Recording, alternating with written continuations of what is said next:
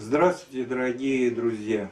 Сегодня мы записываем очередной 14 ролик. И общее название этим роликом «Русское здраво. Выход из тупика». Последние ролики мы э, рассказывали о личности. И нужно э, подытожить сказанное. Силы тьмы в эпоху тьмы затормозили развитие человека на уровне личности, высшего социального животного с человеческим обликом. Это нужно осознать. Второе. Сегодня таким образом на планете живет около 7 или там чуть больше миллиардов личностей.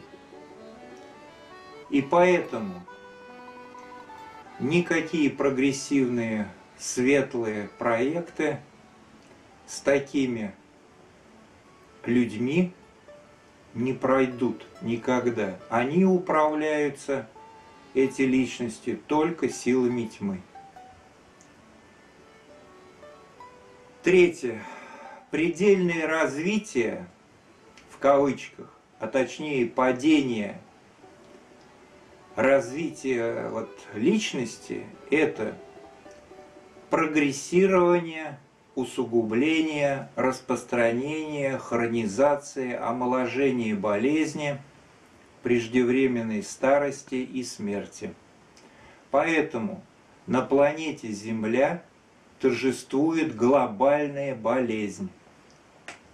Вслед за человеком больными становятся все сферы жизни и общества.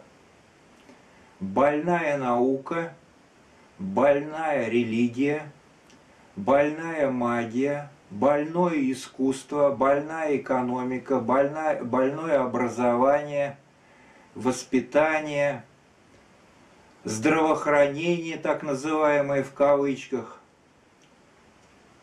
и список этот можно до бесконечности продолжать. Все сферы жизни общества больны. Больны отношения человека с природой и с космосом. Вывод. Необходимо срочно глобальное оздоровление. Нужно оздоравливать реально и конкретно человека, личность.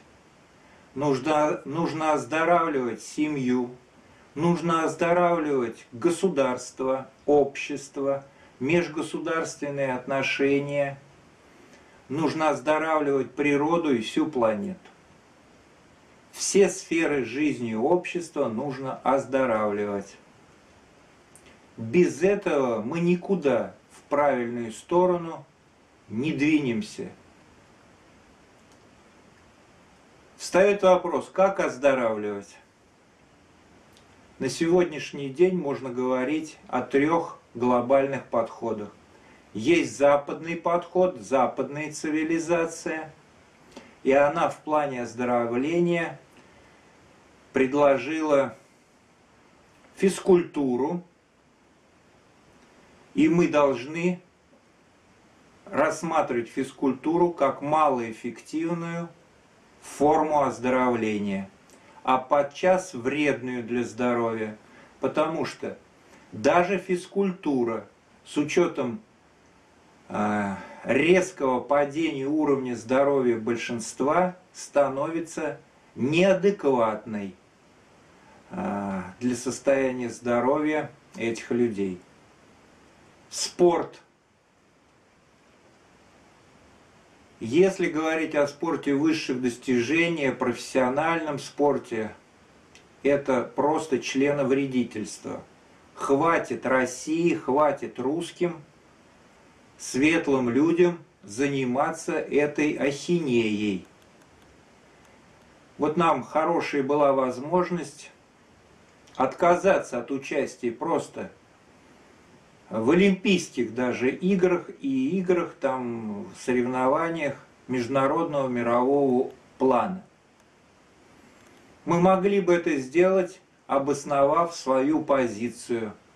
Потому что спорт – это уже давно не здоровье. Это бизнес, это политика, и это прямое повреждение здоровья. Зачем нам заниматься этим абсурдом? Глядишь, цивилизованный мир, глядя на нас, тоже бы задумался, стоит ли это делать. Фитнес-движение, оно пытается как бы лучшие какие-то наработки западной цивилизации мобилизовать, привлечь на вооружение и восточные технологии оздоровления. Но все это имеет примитивный характер, потому что нет опытных и действительно а, каких-то продвинутых в фитнес-движении восточных учителей. Кто же им а, с Востока передаст подлинные секреты тех или других оздоровительных технологий? Поэтому все примитивно, все однобоко, все в основном касалось физического здоровья. Тоже можно сказать и о примитивном понимании со стороны Запада здорового образа жизни. В основном речь идет о питании, речь идет о двигательной активности и о каких-то таких э, оздоровительных средствах, которые касаются опять физического плана человека. А это значит, это не то оздоровление, которое нам нужно. Есть цивилизация Востока. Восток, восход. Надо понять, что это молодая растущая цивилизация. Здесь есть много хороших наработок, но она, а, эта цивилизация, не поднялась еще на, на самую вершину своего развития. А с учетом западного тлетворного влияния на нее, она затормозилась в своем духовном развитии.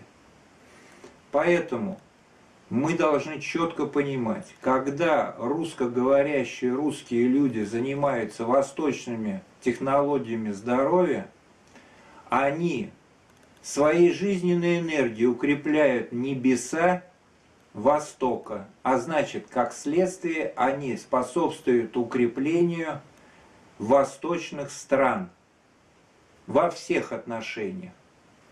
Наша страна тем самым обделяется вниманием, а соответственно обделяется жизненной энергией русских людей – мы свои небеса должны освещать и знать, как это делать, чтобы возродить русский дух и чтобы он возглавил ноосферу, планетарный разум, планетарный логос, планетарного Бога. В эпоху света это необходимо, и этого ждут от нас все продвинутые, просветленные люди всего мира – что нам остается? Оздоравливаться по-русски. Первое, что нужно сделать для этого, начинать с осознания русского смысла жизни, о чем мы постоянно говорили в роликах своих, и осуществлять этот русский э, смысл жизни конкретно с помощью трех русских психофизических упражнений, пробуждающих совесть, и жить, и жить по совести. Вот настоящее наполнение, с чего нужно начинать здоровый образ жизни по-русски. Второе. В списке жизненных приоритетов индивидуума и общества – на первое место нужно поставить оздоровление, здоровье. Это главное. Все остальное, чему сегодня придается большое значение личностями. Вся эта политика, власть, э, религия, предположим, или секс, или э, семья, друзья, хобби, деньги. Все это займет соответствующее положение в сознании русских людей после здоровья в разной последовательности, в зависимости от конкретных жизненных задач, которые поставит русский перед собой.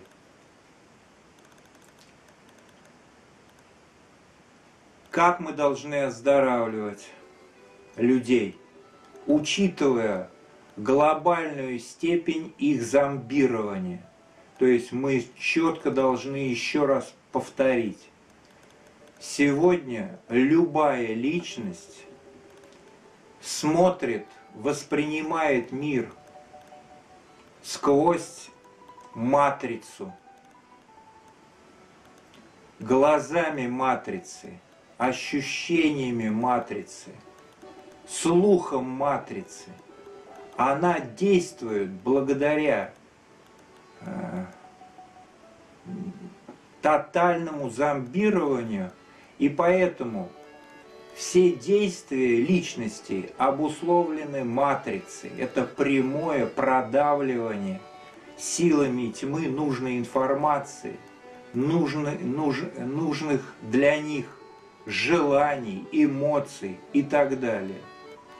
Поэтому мы э, имеем в целом технократическую э, цивилизацию, так называемую, как э,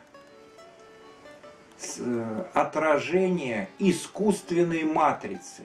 Поэтому совершенно правильное утверждение, что это иллюзия, искусственное построение, не имеющее ничего общества, ничего общего со здоровой жизнью.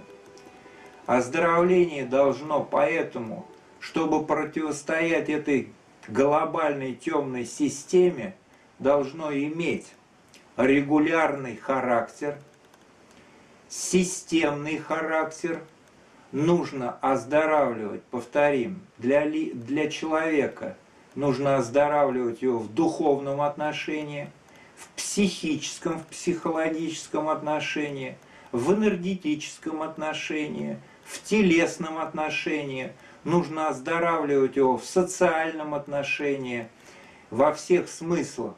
То есть оздоравливать все сферы жизни общества. Нужно оздоравливать его отношения с природой и с космосом. То есть все нужно оздоравливать. Нужно, чтобы оздоровление имело комплексный характер. То есть с применением самых различных природных, естественных средств, которых на русской земле издавна применялось огромное количество. Мы должны задействовать весь арсенал самых эффективных русских средств оздоровления. И самое главное, чтобы это а, оздоровление имело массовый характер. Потому что если это будет просто какая-то Э, э, школа, какой-то семинар, какие, какая-то группа здоровья, как было в, раньше, школа здоровья и даже академия здоровья, как это было в эпоху тьмы, это не сработает. Мы не сможем э, пересилить всю темную систему современной цивилизации в кавычках.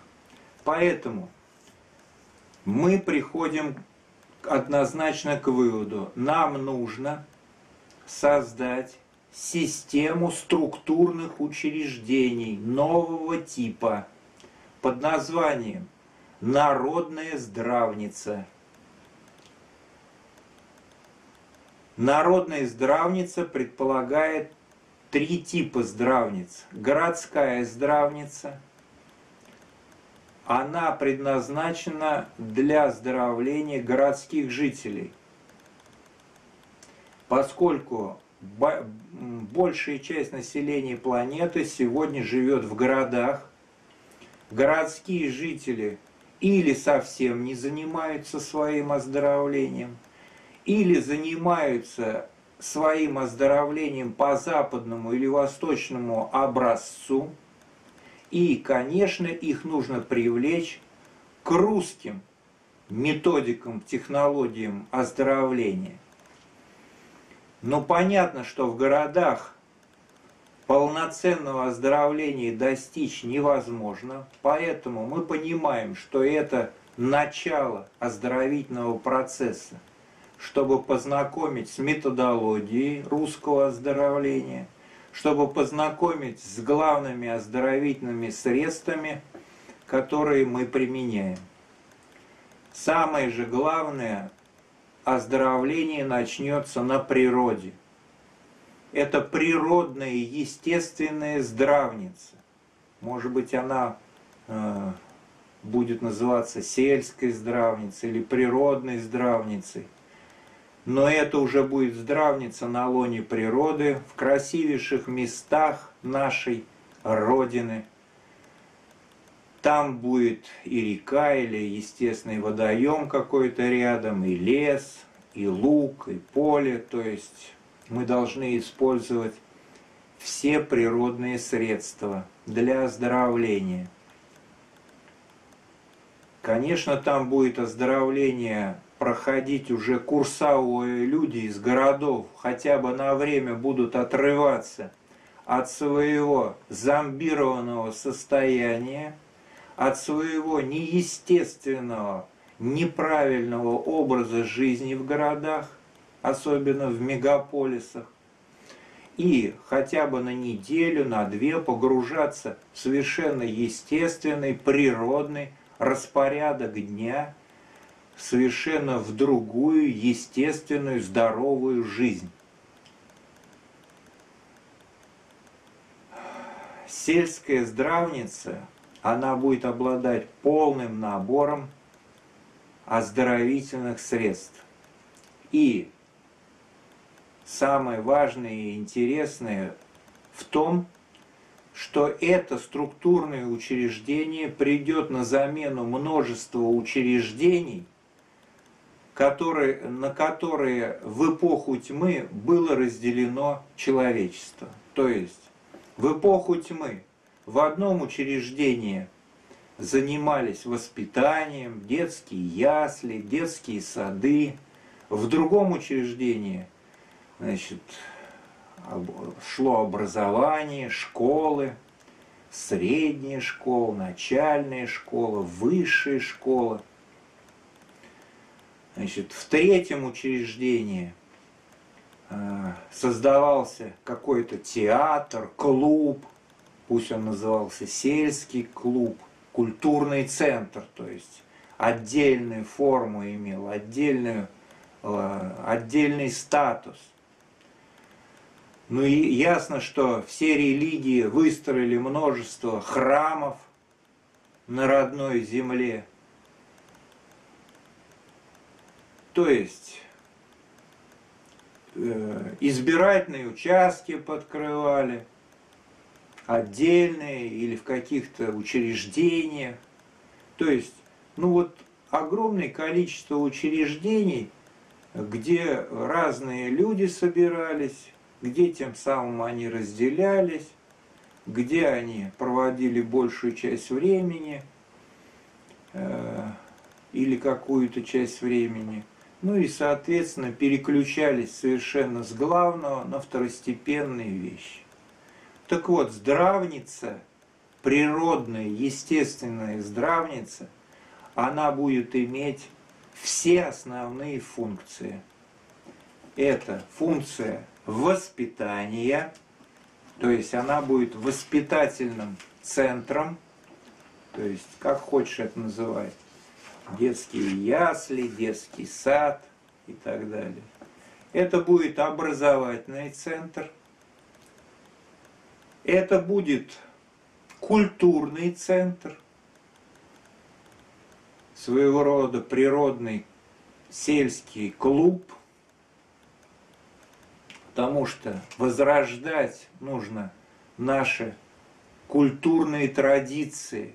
Их нужно выискивать, их нужно вспоминать и возрождать. Это будет низовое самоуправление, потому что множество ближайшего по проживанию населения будет привлекаться к работе а, и использованию вот этих природных, естественных здравниц. И поэтому они будут собираться там, обсуждать на общих собраниях важнейшие общественные какие-то значимые темы, выносить по ним общие какие-то решения. Там же будет э, происходить выборы различных руководителей общественных. И все это должно прийти на смену сегодняшним так называемым демократическим выборам по западному образцу. Русская народная здравница будет и духовным центром. Это будет храмом рода на природе. Потому что главное, как мы уже говорили не раз, с чего надо начинать оздоровление, это с повышения уровня духовности – с осознания смысла жизни, с осознания русского смысла жизни. И поэтому это будет все призвано возродить русский дух, возродить русский род, чтобы русская цивилизация стала во главе всего человечества, как это было не раз – когда русская цивилизация доминировала на всех материках без исключения. В русскую цивилизацию входили люди, независимо от их национальностей, и все они жили по-русски, то есть по совести, ведя совершенно естественную, природную, светлую жизнь на планете Земля – но вот, к сожалению, с наступлением эпохи тьмы русские утратили и поддались влиянию силам тьмы, и силам тьмы удалось переломить ситуацию, и русская цивилизация до сего времени гнобится, уничтожается всеми силами тьмы на планете Земля.